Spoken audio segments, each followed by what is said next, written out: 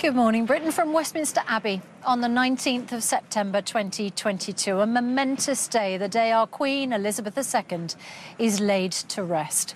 A day marked by mourning, but also a day of remembrance for a much loved monarch who remained steadfast in her duty to the nation.